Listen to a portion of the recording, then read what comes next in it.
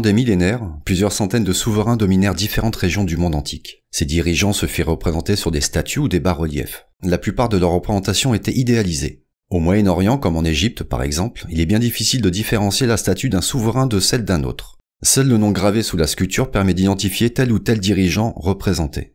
En Égypte, seule la représentation du pharaon Akhenaton sont fidèles à sa morphologie. Mais, tout comme sa réforme religieuse, cet effet de mode artistique disparaîtra avec lui.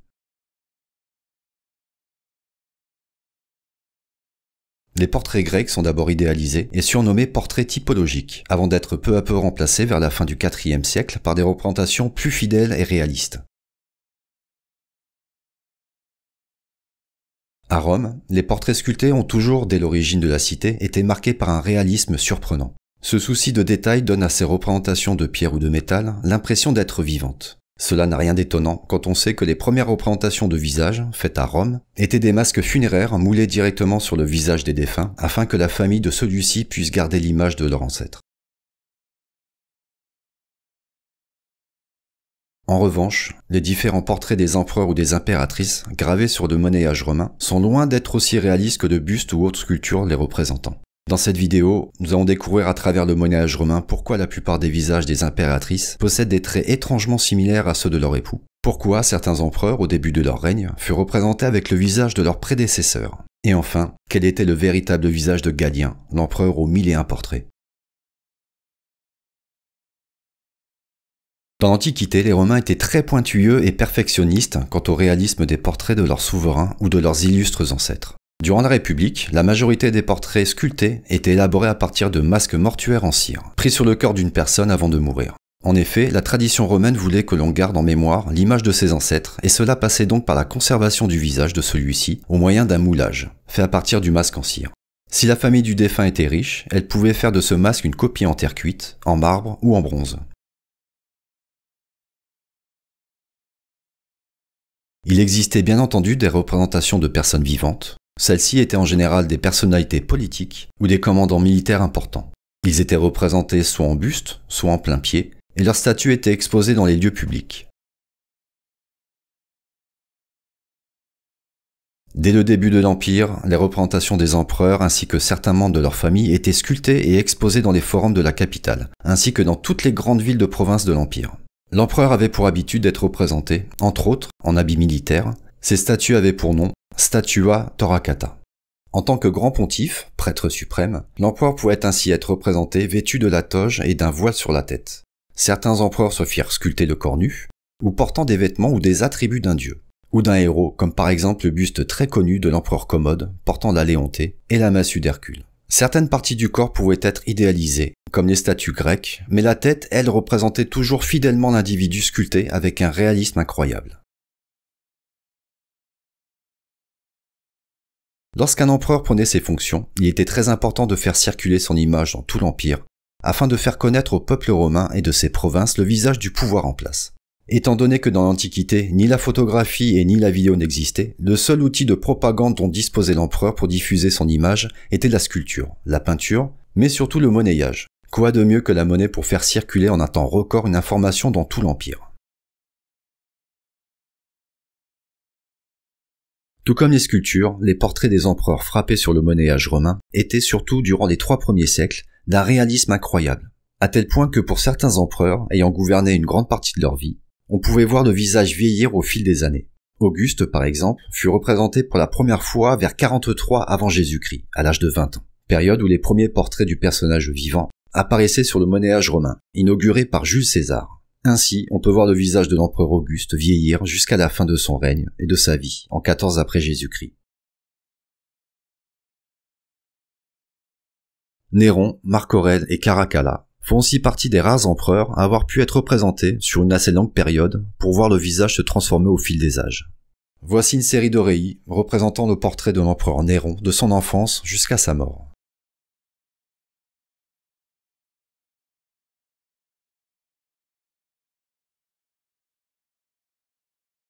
Nouvelle série représentant le portrait de l'empereur Marc Aurèle de son enfance jusqu'à sa mort.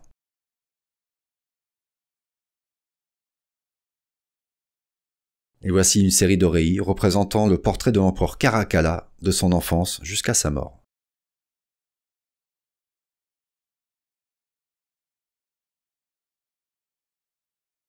Si le portrait de l'empereur se devait d'être le plus réaliste possible, il n'en était pas toujours de même pour son épouse. En effet, un œil averti pourra constater que, dans le monnayage romain, certaines impératrices ont les traits du visage étrangement similaires à ceux de leur époux. La ressemblance entre les deux est parfois même troublante. Pourtant, le visage en marbre sculpté de celle-ci montre bien des traits peu similaires et familiers à celui de l'empereur. Ceci s'explique par un besoin de l'empereur à légitimer le pouvoir politique de sa femme à Rome, durant son absence. Voici un donné de Caligula, avec sa sœur Agrippine, la jeune, avec un visage long et affiné, Nous avons un donné de Claude, avec sa femme Agrippine, la jeune, avec un visage plutôt rond et des traits similaires à ceux de son époux.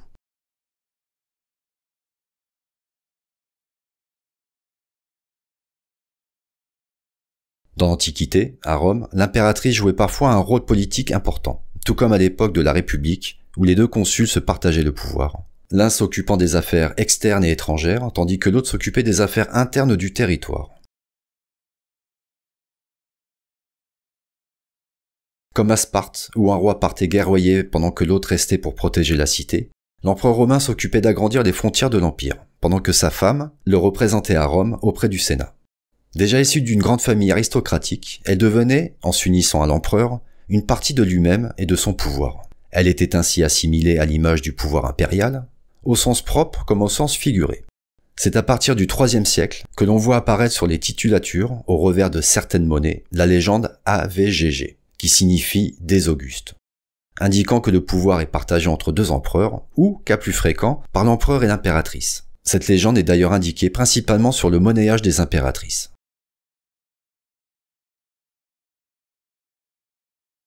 La représentation d'un empereur à Rome par le biais de sa femme masculinisée n'est pas un principe né de l'impérialisme romain. Plus d'un millénaire auparavant, en Égypte, les reines Hatshepsut et Nefertiti prirent le pouvoir suite au décès de leurs époux les pharaons Toutmosis II et Akhenaton, et se firent peu à peu représenter en hommes afin de légitimer leur démarche, puisqu'à cette époque, seuls les hommes pouvaient devenir pharaons. À la fin de la République romaine, après la défaite des assassins de Jules César, le nouveau triumvirat se répartit les terres romaines. Octave récupère l'Occident, l'Afrique revient à l'Épide, et Marc-Antoine récupère et part diriger les provinces d'Orient. Ce dernier épousera Octavie, la sœur d'Octave, et sera le premier à représenter sur le monnayage romain sa femme restée à Rome, avec des traits tout à fait similaires aux siens. Plus tard, Marc-Antoine se sépara d'Octavie pour épouser la reine Cléopâtre, et reproduira une fois de plus le même principe monétaire en masculinisant la reine d'Égypte. Sur ce donné représentant Marc-Antoine et Cléopâtre, on constate les mêmes similitudes entre leurs visages. Mais cette fois-ci, le nez est assez brusqué, les lèvres pincées et le menton carré.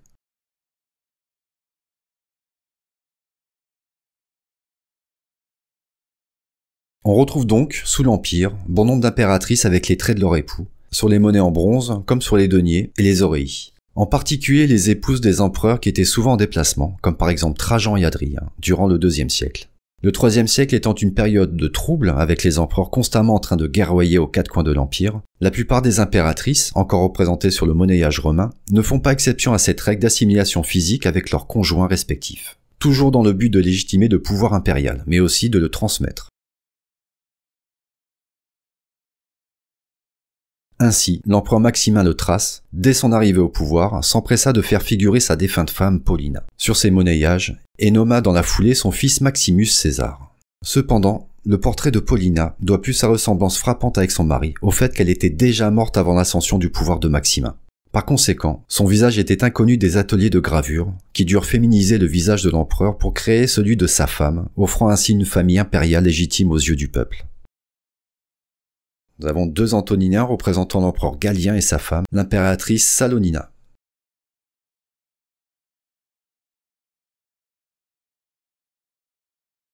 Si le portrait de Paulina est un cas isolé dans l'art du portrait des impératrices, il existe en revanche de nombreux cas où les ateliers monétaires devaient faire preuve d'ingéniosité pour suivre certaines successions entre l'ancien et le nouvel empereur, surtout durant les périodes de troubles. Voici les deniers des empereurs Othon et Vitellius. On constate sur le denier du centre que le visage de Vitellius était étrangement ressemblant à celui d'Othon, et bien différent de son portrait officiel. Denier des empereurs Vitellius et Vespasien. On remarque que l'atelier monétaire de Taraco, en Espagne, s'est servi du même portrait de Vitellius pour créer celui de Vespasien. Là encore, bien loin des traits du nouvel empereur.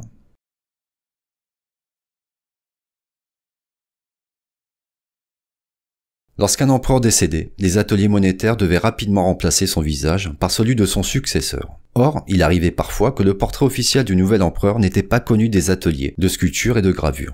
Souvent parce qu'il s'agissait d'un général ou d'un usurpateur situé loin de Rome, au moment de son ascension au trône, ou lorsque l'empereur mourait subitement, avant que son successeur ne soit officiellement nommé et son portrait connu des ateliers décentralisés. Sur ces cinq Antonins, on se rend bien compte que les portraits du début de règne de Claude II et d'Aurélien sont calqués sur les portraits officiels de leurs prédécesseurs.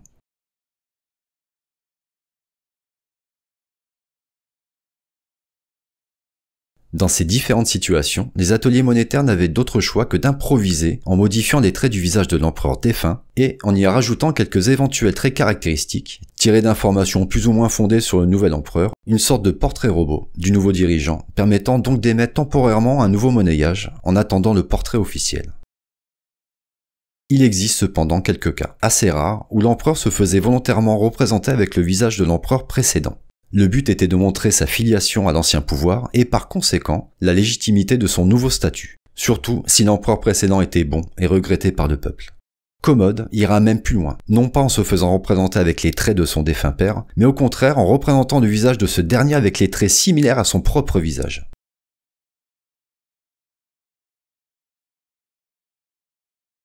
Bien que les portraits officiels sculptés de l'empereur Galien montrent plusieurs styles iconographiques distincts, comme le style grec classique et le style romain réaliste, son visage est facilement reconnaissable par ses traits caractéristiques propres à lui seul.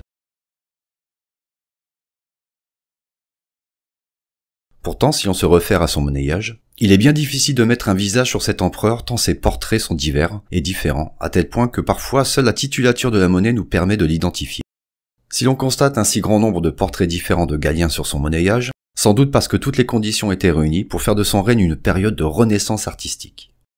Entre les nombreux troubles qui frappent l'Empire, la grande diversité d'ateliers monétaires éparpillés aux quatre coins du territoire, et la révolution culturelle et artistique opérée par Galien, on comprend aisément cette différence de portrait de cet empereur sur son monnayage.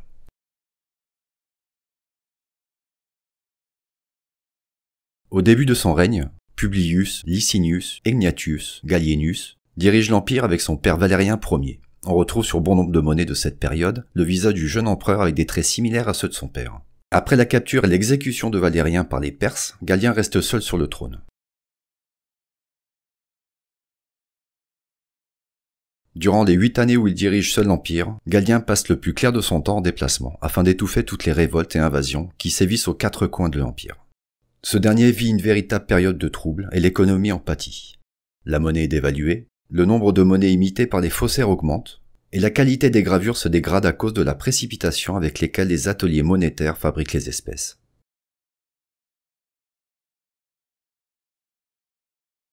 À partir du règne de Galien, se produit un changement artistique dans la série des portraits officiels des empereurs. On constate, en effet, que le style réaliste fait place au classicisme de l'époque d'Auguste, mais aussi au style classique des Grecs, ce qui n'a rien de surprenant puisque Galien, imprégné par la culture grecque, se veut philhellène. Cette influence se manifeste notamment dans le style iconographique des portraits sculptés de cette période, ainsi que dans l'art du portrait et de la gravure des ateliers monétaires.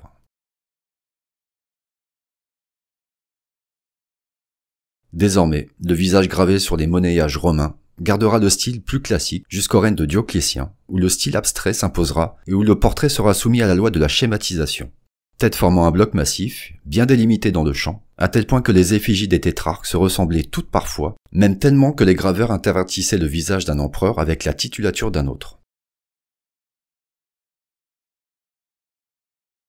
On constate de grandes tendances dans l'art du portrait romain. Le réalisme du Haut Empire, où les graveurs des ateliers monétaires s'efforçaient de représenter avec le plus grand soin l'apparence authentique des empereurs, puis, à partir du règne de Galien, la tendance se mit à changer, pour basculer doucement vers un style plus classique et schématisé, où les ateliers monétaires avaient pour consigne de rendre les formes du visage plus abstraits, au profit d'une parure plus minutieuse, dans le but d'accentuer la physionomie impériale.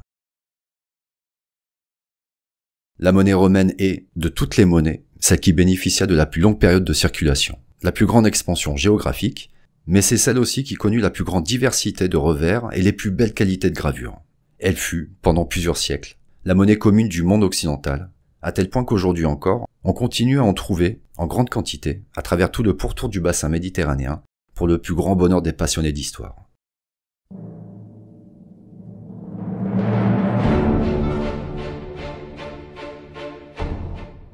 Eh bien merci à toutes et à tous d'avoir regardé la vidéo jusqu'au bout, ça me fait très plaisir. Pour la vidéo j'en suis assez content mais il me reste encore quelques améliorations au niveau de ma voix, de la respiration et de l'articulation, c'est très important. Comme vous me l'aviez fait remarquer sur la vidéo précédente, cette vidéo est déjà beaucoup plus riche en monnayage, mais ça grâce à qui? Bah grâce à l'auteur de l'article, qui est monsieur Renaud Lamy, que je remercie pour son autorisation pour utiliser ses textes pour mes vidéos. Je souhaite également remercier le directeur des éditions Crépin Leblond, monsieur Picard, pour son aimable autorisation, d'utiliser les articles du magazine Détection Passion, puisqu'ils sont maintenant les nouveaux propriétaires du magazine, donc le magazine continue à exister, et ça pour notre plus grand plaisir, il ne me reste plus que l'accord du site des numismates CGB pour utiliser leurs photos et monnaies qui sont de bien meilleure qualité que ce que je peux trouver sur internet. Et là la vidéo sera carrée. Maintenant si tu as apprécié la vidéo, bah tu peux me faire un petit plaisir en me laissant un petit pouce bleu, ça c'est top. Et si c'est pas encore fait, eh bien abonne-toi à la chaîne. Et on se retrouve dans à peu près un mois pour une nouvelle vidéo sur un héros de la mythologie grecque qui est représenté sur le monnayage romain. A bientôt et portez-vous bien.